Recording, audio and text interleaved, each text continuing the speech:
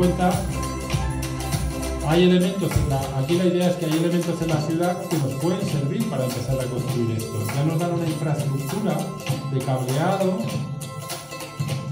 que, no, que está en toda, repartida ya por toda la ciudad y que nos puede servir para hacer un montón de, de cosas que pueden ser útiles. ¿no?